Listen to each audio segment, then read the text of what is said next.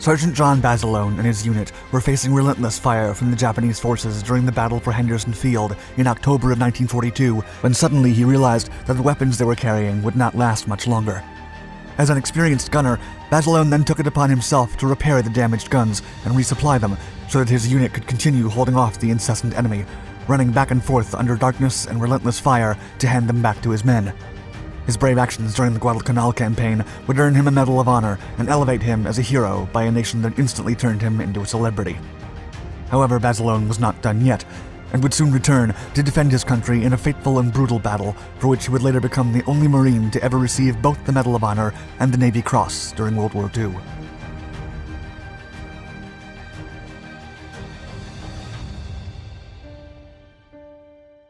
Manila John Born in 1916 to Italian immigrants, John Basilone grew up in New Jersey with nine other siblings. Hoping to find adventure, he enlisted in the U.S. Army right before turning 18. Basilone was sent to the Philippines right away, where he served as an infantryman for three years. While stationed at the American colony, Basilone became enamored with the Philippines and his way of life in the base. The young recruit would then become a champion boxer, earning the nickname Manila John. After two successful army tours in the Philippines, John returned to America and settled as a truck driver. Hoping to return to his beloved Manila and add some action to his life, Basilone began planning his next steps. He believed that joining the Marine Corps would get him to Asia faster than the Army, so the young enthusiast joined the branch on June 3, 1940. While Basilone's Marine Corps service did take him to the Far East, Manila John never traveled to his beloved Philippines again. After the brutal attack at Pearl Harbor a year and a half later, the United States joined the fight against Nazi Germany, Imperial Japan, and Fascist Italy. And while the country's late entrance to the war came with its fair share of criticism, there was no doubt that America came in full force. Soon, thousands of Americans were scattered all over the globe fighting against the Axis, including Basilone. After training at Guantanamo Bay, his 1st Battalion, 7th Marines, 1st Marine Division was sent to the depths of the brutal Pacific Theater. Guadalcanal, in September of 1942, Basilone found himself defending the island of Guadalcanal. Located well within Japan's emerging empire, Guadalcanal was a clash of national wills. Only one country would win the strategically valuable island and the entire Solomon Islands chain to which it belonged. One of the most feared posts of World War II, the fight for the island of Guadalcanal was a constant, brutal struggle. However, despite being both unprepared and outnumbered, the Americans captured an island airstrip and renamed it Henderson Field. Afterward, the Allied forces in the area began receiving supplies and reinforcements from aircraft that were able to land on the base. Determined not to let the Japanese take over the airfield, the Americans sent many men to protect and maintain their presence.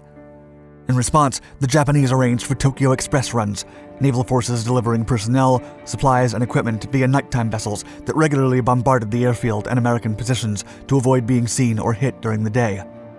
In the middle of one of the fiercest battles of World War II, Basilone quickly distinguished himself as a fearless soldier. A hero. In October of 1942, Sergeant Basilone commanded two sections of Marines holding the perimeter at Lunga Ridge, only a thousand yards south of Henderson Field, brandishing heavy 30 caliber machine guns. Suffering from malaria and other terrible conditions, Basilone's men persisted in the muddy and dense tropical weather, holding the hill as best they could, with constant waves of Japanese troops attempting to conquer the ridge.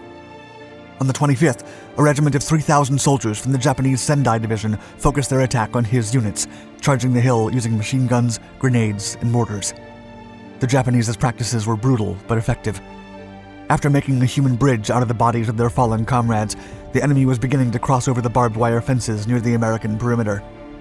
During the nighttime attack, grenades, small arms, and machine guns were thrown around and fired incessantly. An experienced machine gunner, Sergeant Basilone knew that the American weaponry would be tested to its limits, and soon the inevitable happened. The machine guns began to jam.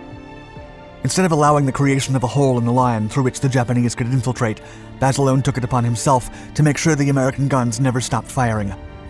For the next three days, he repeatedly and hurriedly repaired guns and charged barrels in almost total darkness. Basilone also ran back and forth between gun pits, carrying 90 pounds of weaponry and ammunition resupply through a 200 yard trek in constant enemy fire. The innate leader also ensured that his terrified junior Marines were steadied and assisted as the unit continued firing into the trudging Japanese. At one point, the sergeant lost one of his essential thermal protection gloves while swapping empty barrels for the machine guns. Undeterred and in the middle of a battle, Basilone operated with his bare hands, enduring incredible pain as he single handedly eliminated an entire wave of Japanese soldiers. Despite his heroic actions, most of his men succumbed to the Japanese, and only Basilone and two other Marines were left standing. Still, the unit had managed to hold the perimeter. By the time the reinforcements arrived, Henderson Field was still in American hands, and its possession would never be seriously threatened for the remainder of the war. A fish out of water. When they were later interviewed, the two squad members who survived the relentless attack expressed their amazement at their leader's will to fight and his ability to inspire the team during the most fearful nights of their lives. Due to his brave actions during the Battle of Henderson Field, John Basilone was promoted to gunnery sergeant at only 26 years old.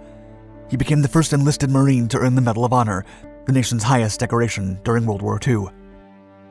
Instead of meeting President Franklin D. Roosevelt to be bestowed with the medal, Sergeant Basilone asked to hold the ceremony in the field with his Marine Corps unit. Basilone claimed 38 casualties during the encounter, and upon receiving the decoration, he humbly said that only part of the medal belonged to him, as his fallen men deserved it just as much as he did. Upon his return to America, John Basilone was welcomed with a parade from the entire population in his hometown of Raritan, New Jersey. By September of 1943, with a national war bond tour, news coverage, and several written profiles giving him endless publicity, the brave sergeant had become a national celebrity. However, Basilone wanted to be in the front line with his fellow Marines as soon as possible. He repeatedly said that he was only a plain soldier. Still, his return to combat was constantly delayed until the Corps relented, and the sergeant was then sent to train for combat in Camp Pendleton in the Pacific. As Manila John trained for war in the East Coast camp, he met fellow Marine Sergeant Lena Mae Riggi. After a whirlwind romance of less than a month, and with John's inevitable return to the Pacific, the couple got married on July 10, 1944. The newlyweds then parted ways and never reunited again. One last post. The five week battle for the capture of the island of Iwo Jima saw some of the fiercest fighting at the Pacific Theater.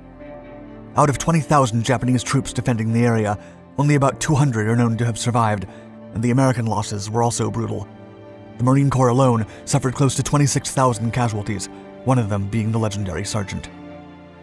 On February 19, 1945, Basilone and his artillery unit, serving with the 1st Battalion, 27th Marines, 5th Marine Division, arrived on the island. Basilone instantly proved his courage by giving directions and helping some of his men that were pinned by enemy fire to move forward. Afterward, Basilone single handedly destroyed a reinforced Japanese position, attacking a blockhouse with grenades and demolitions, allowing his Marine unit to secure an airfield that same day. At the edge of the airfield, Basilone assisted a tank stuck in an enemy minefield, gently but firmly guiding the vehicle over the terrain to safety while moving under intense Japanese mortar and artillery barrages. Just then, a mortar round exploded and took the life of the 27 year old, along with four other Marines. For his brave actions during the critical Battle of Iwo Jima, the sergeant received many awards and decorations, including the Purple Heart and the Navy Cross. Basilone was the only enlisted Marine to receive both the Medal of Honor and the Navy Cross during World War II. Basilone's wife, Lena, continued to serve with the Marine Corps and was present during the ceremony in which a Gearing class destroyer was named after her late husband in 1949. Then, in 2018, the Navy announced plans to name an Arleigh Burke class after the World War II legend, further cementing his legacy. As Navy Secretary Ray Mabus put it, quote, all who serve aboard her will carry on the legacy of service and commitment exemplified by this Marine Corps hero. Thank you for watching our Dark Docs video. Please let us know your thoughts in the comments below, and don't forget to hit the bell icon to be notified of our newest content. Also, subscribe to this and all our Dark Documentaries channels for more exciting history inspired videos.